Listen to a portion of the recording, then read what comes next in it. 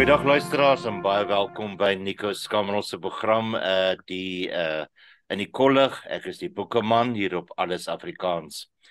Vandag in die ateljee hier so my uh virtuele ateljee is niemand anders nie as ons bekende komponis Jacques Rautenbach. Ek het van tevore met hom gesels en vandag het ons weer 'n spesiale aankondiging wat ons gaan maak en uh, Jacques baie baie welkom hier so by uh by alles Afrikaans.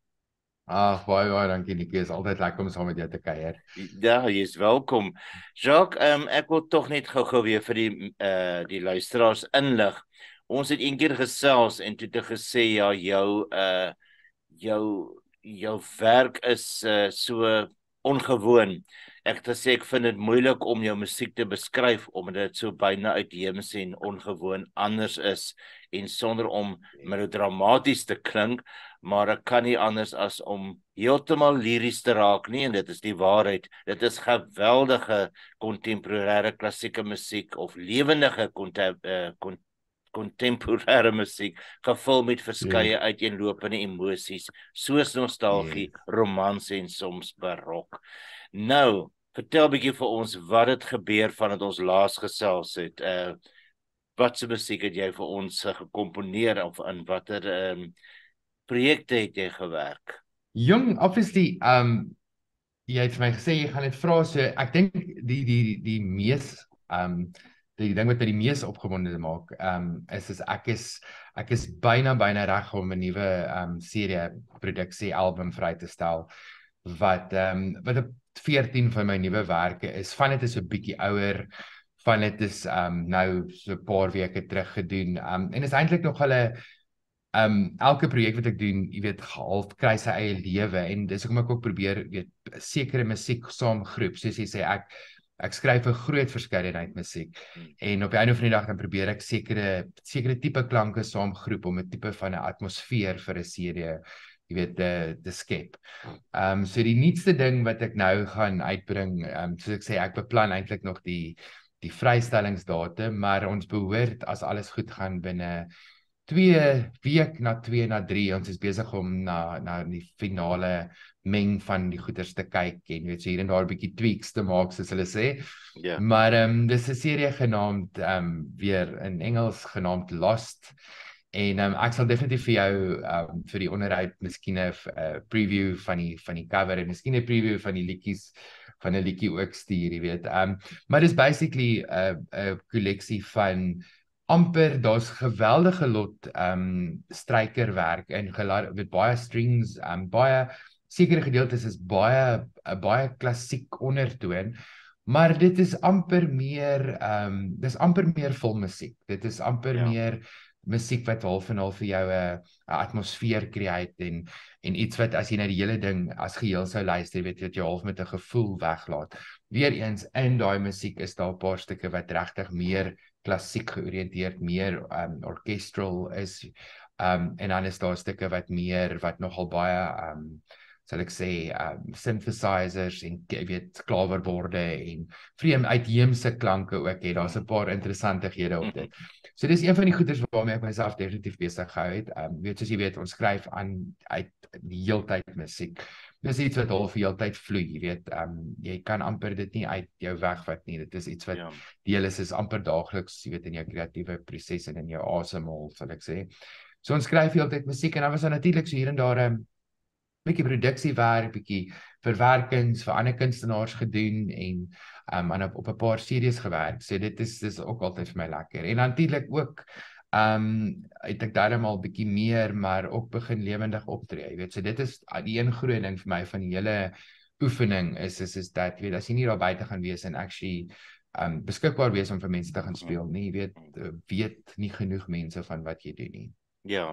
Ek dink min uh, min mense weet dat jy ook optredes doen vir koöperatiewe funksies. So yes. jy dat mense yes. kan jou bespreek en jy kom tree op by hierdie funksies. Yes. Ehm um, hulle kan gerus na YouTube toe gaan gaan uh, Google daarso gaan druk in Jacques Rautenbach en hulle sien uh, waar jy onder andere onlangs by 'n uh, funksie opgetree het. Fantastiese yes. uh, idee en dit is uh, die klanke wat die mens hoor. Dit is pragtige musiek Jacques. Um, ah baie dankie. Jacques ek wil graag hê ons moet na, nou nou na uh, een van jou komposisies luister. Die naam is Harbour Island. En uh, die rede daarvoor is en ons wil jou baie baie geluk wens. Jy het ook 'n benoeming ontvang vir van Pretoria FM 'n uitsa toekenning vir 'n uh, Harbour Island. Kan jy ons meer daarvan vertel? Jong, dis 'n nominasie op hierdie stadium, so ons nominasie, is weer op um, ja. Yes, uh, ons is op teen 'n uh, ongelooflike klomp kunstenaars. So hierdie jaar, uh, moet ek sê die die kompetisie is baie baie straf, maar weer eens net om genomineer te word is vir my, ek weet absoluut 'n groot eer. Harbour Island um is 'n liedjie wat ek geskryf het kort nadat ons um hier in Gordons Bay kom bly het En ons bly eintlik vir die mense wat die area ken, daar's ons eintlik 'n plek eh, reg oorkant ons huis genaamd Harbour Island. Dit is 'n dis basically wat dit is.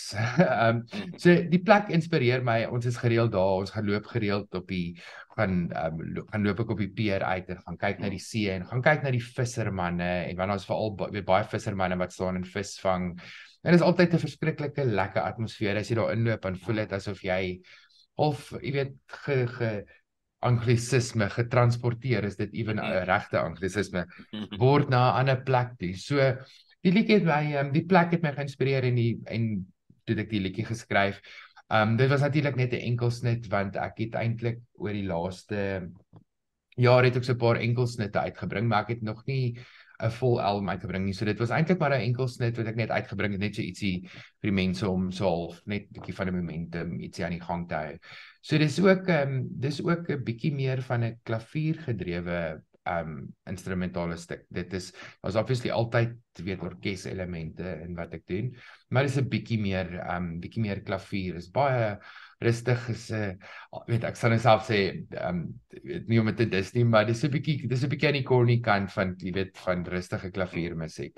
Okay. Maar um, ek dink ek dink dit is ek dink dit is ook belangrik um, baie van my musiek vir baie mense ervaar hulle as um veral as jy nie 'n ontwikkelde palet het sal ek sê nie. Ervaar mense baie van die keer die musiek as volksvreemd. Hulle weet soms nie hoe om te assosieer met dit nie. Ja. So ek het jy weet dis ook 'n aspriste besluit om musiek bietjie um bietjie meer aarde te, te bring nie hier en daar hier en daar 'n bietjie eenvoudiger te maak jy weet. Ja. Um in Harbour Island was definitief was definitief dit vir my. Maar um ja. So ek's opgewonde.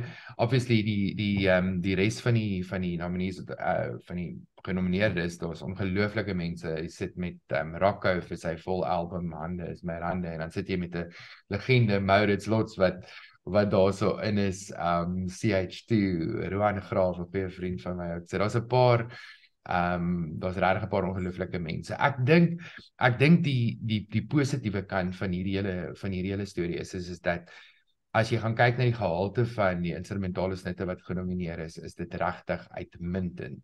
Dit is dis regtig um, die standaard is verskriklik hoog. En laat daar vir my hierdie jaar so mooi groot verskeidenheid is in mense wat instrumentale musiek doen en ingeskryf het vir dit. Ja. Ehm um, weet is is ongelooflik. Dit wys vir my dat daar's tog 'n mark al is dit stadig en mense ondersteun dit stadig. Hmm. Ehm um, is dit tog 'n mark wat werklik besig is om te groei en ek dink net al hoe groter gaan word. Hmm. Ja, so um, was ja, exciting. Ja, instrument instrumentale musiek, nê. Nee.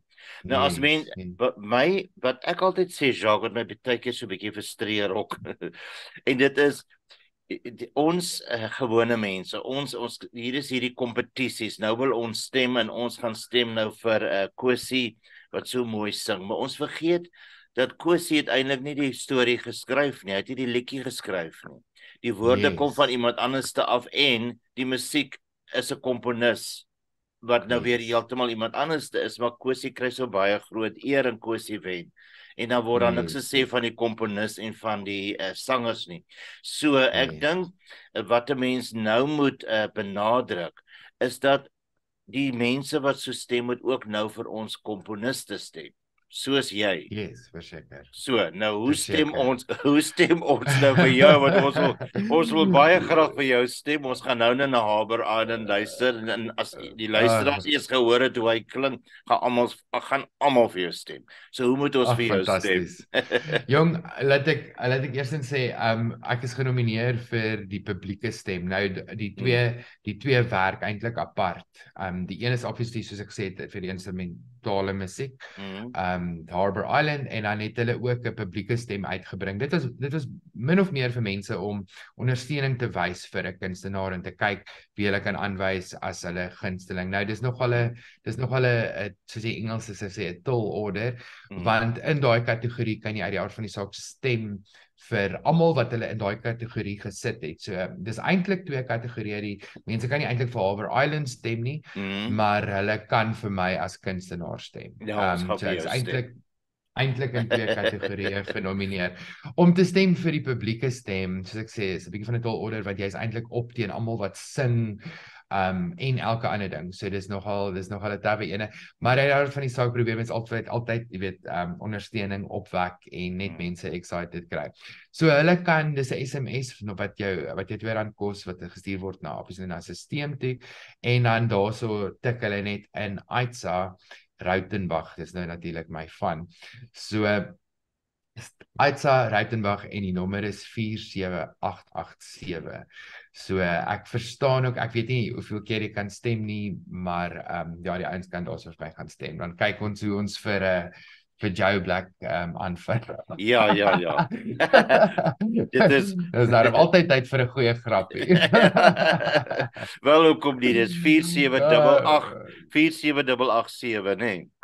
Yes, yes. Ek Ja, en- en- verseker. Ja, en, en hulle moet nou net seker maak dit is Aitsa Rautenbach moet hulle in daai SMS sit en hulle moet net seker Yes. maak dis Rautenbach, nie Joe Black nie, Rautenbach. Yes, yes. Ja, yes, ja. verseker. En dit kos en dit kos net R2 en bygesê jy Yes. mag maar stem soveel as wat jy wil. Jy kan die hele dag in jou bed lê as dit koud is buitekant en die een As SMS na die ja. ander stuur. Ja. Ja, as jy te veel geld het, sê ek doen dit.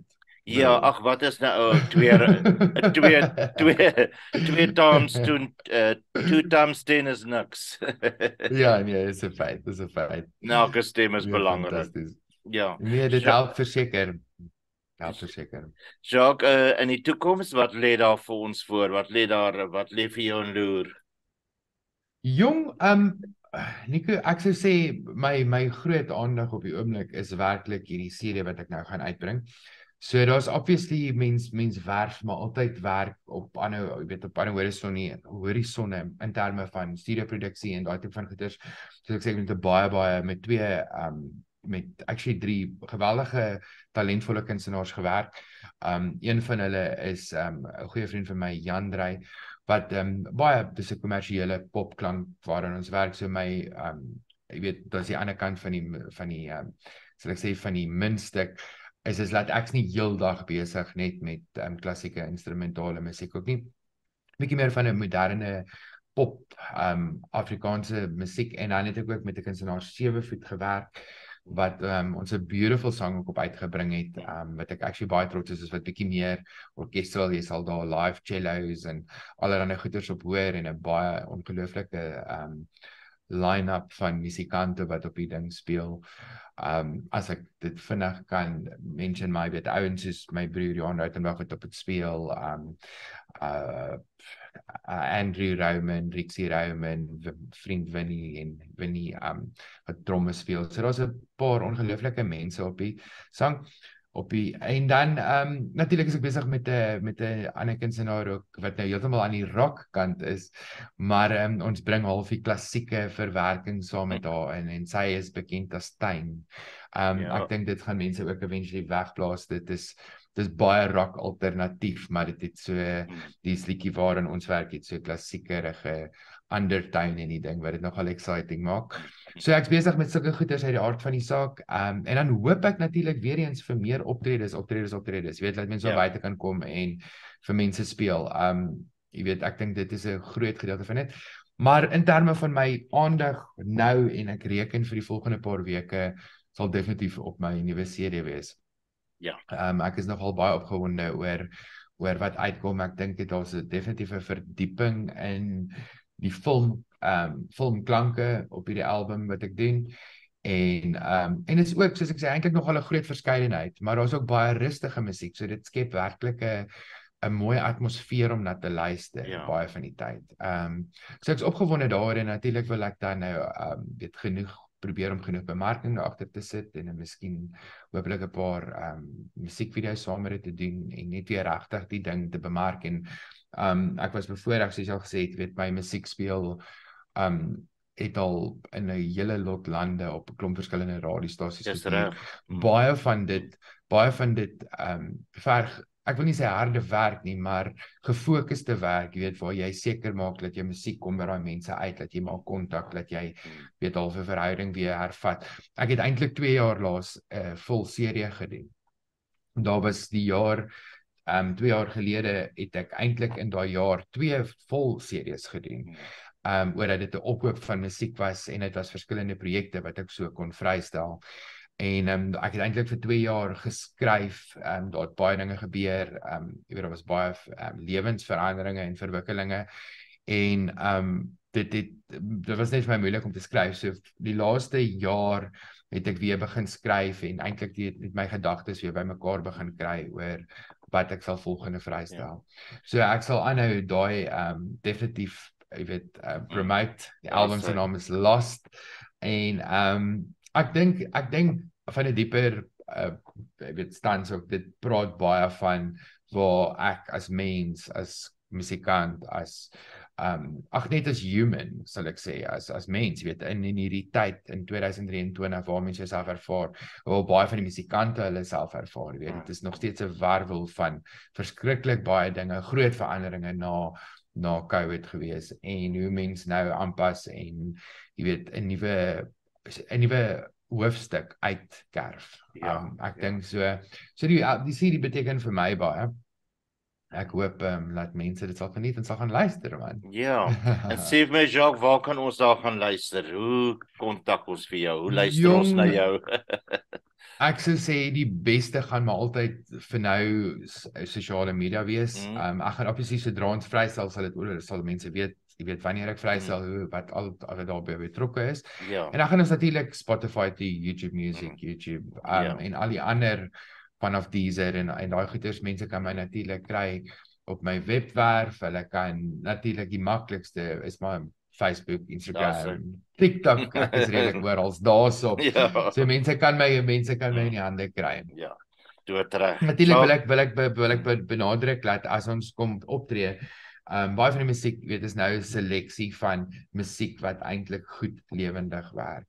So as mense wil optredes en daai tipe van goeders doen, um, weet is ek lief daarvoor om 'n vioolspeler of 'n vioolspeler en 'n cello speler of meer saam te mm, bring.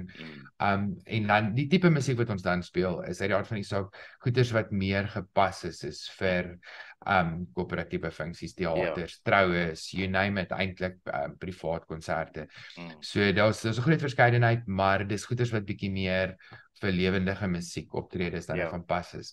Um nie al die musiek wat ek skryf kan jy regtig sonder 'n massiewe orkes op 'n verhoog sit nie. Jy weet as jy 'n massiewe orkes het wat 'n groot groot konsert doen, dan kan ek al my musiek speel, maar baie van dit is baie spesifiek. Ja, so ehm um, Fantasties. Ja. Jacques, yes. ons gaan luister na Habe Aden terwyl ons vir jou totsiens sê. Baie baie dankie dat jy met ons gesels het. En ons gaan vir jou stem is 478874787. Ons sit net daar in Uitsag Rautenbach. En ah, uh, so gaan ons vir jou stem. Baie baie dankie. Ons wens jou alles van die beste toe, hoor. Ag, baie baie dankie my vriend. Ek sê vir jou regtig dankie. Dankie vir julle ondersteuning, vir julle aan Julle is julle is altyd daar. Ek waardeer dit regtig baie. Dit is regtig prysloos hoor. Jy is welkom en dan wil ek net ook vir die luisteraars sê dat Jacques Rautenbach is ook in die heel nuutste digitale tydskrif uh naskrif die einde van Junie en einde van Julie en einde van Augustus se uitgawe. Fantasties. Ek dankie, sê weer eens weer dankie. Is welkom. Groot voorreg, groot voorreg. Dis reg. So ons sien uit na die uitslae van Aitse. Alles van die beste.